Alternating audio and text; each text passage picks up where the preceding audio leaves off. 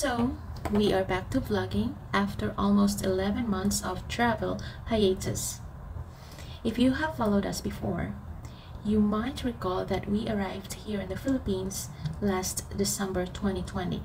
Since then, we haven't really traveled outside of our hometown province. We really didn't want to deal with the tight and ever-changing community quarantine rules and travel requirements. So, we just stayed home pretty much. And I just posted videos of our previous travels once in a while. We do have a huge backlog of travel videos, even way back 2019, that we haven't edited or uploaded yet.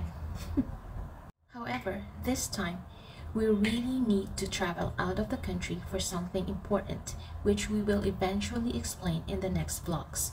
This trip's vlogs, we will start with a domestic flight from our hometown province to Manila. Please take note that we fall under the category of LSI or locally stranded individuals.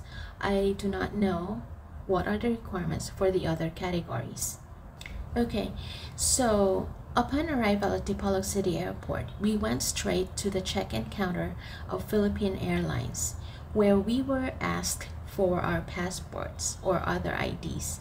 So we gave them our foreign passports. And then they gave out this form that we had to fill out and give back right there and then. I forgot what was it about as something to do with temperature and stuff like that but the other one is this form called a passenger health locator form and you can fill this out during the flight and you can give it to the flight attendant before you land. And this is what I'm showing you. These are the questions or information that they want.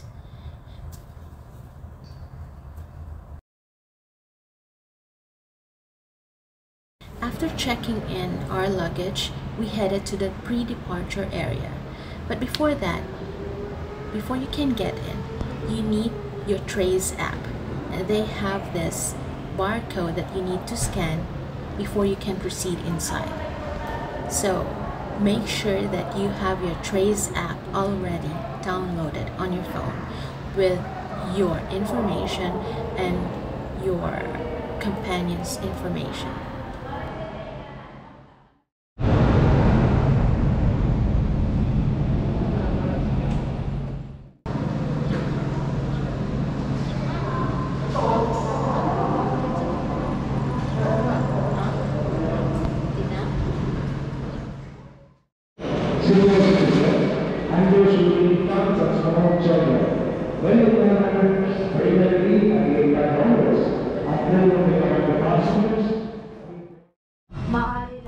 Once we boarded and got settled, I noticed that there were a lot of vacant seats and the flight was not even half full. It must be really tough for airlines nowadays because people are afraid to travel or can't be bothered by the stringent travel requirements. So sad.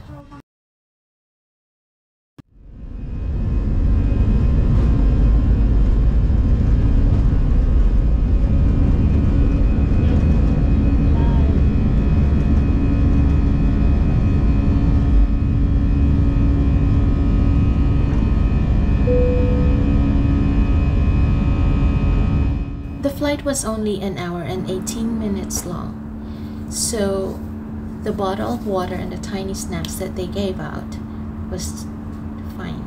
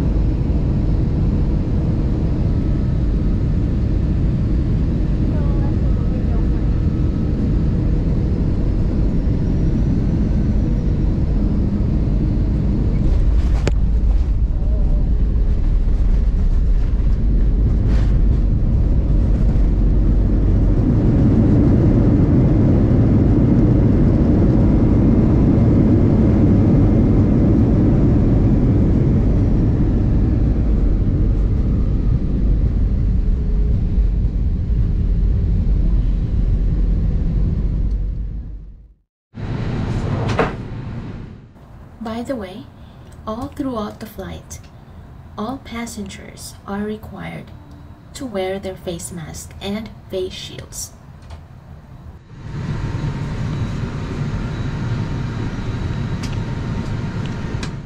Shortly before landing, we were reminded to maintain social distancing during disembarkation. Not that there were a lot of passengers in the first place, anyway.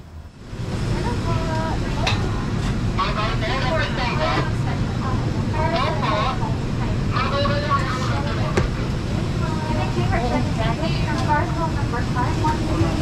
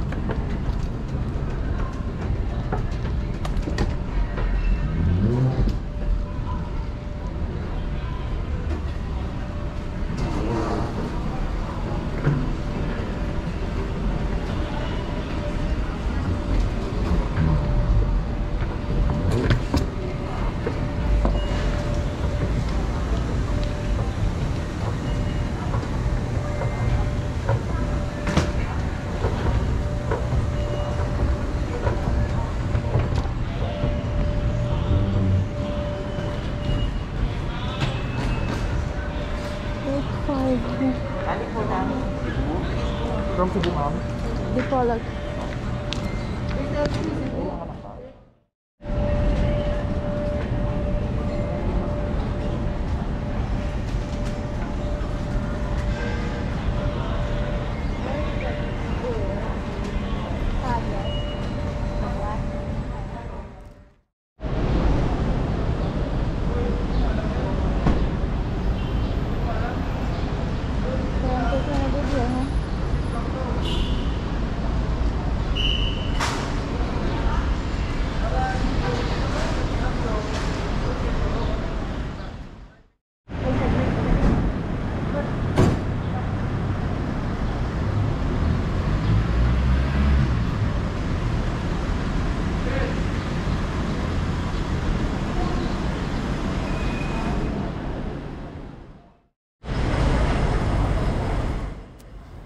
For the transportation from the domestic airport in Manila to our hotel in Makati, we chose this service instead of the metered taxis.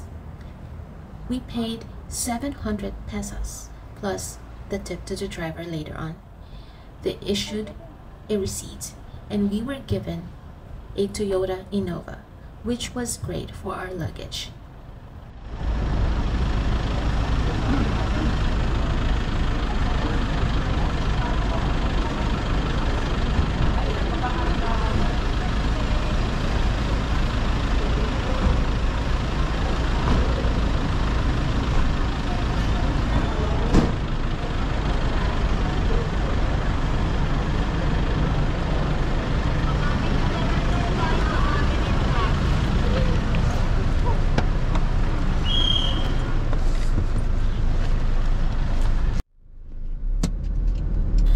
And that's it. We arrived safely and comfortably in our hotel. Next topic would probably be about our swab tests or about the hotel that we're staying at right now. Till then, subscribe.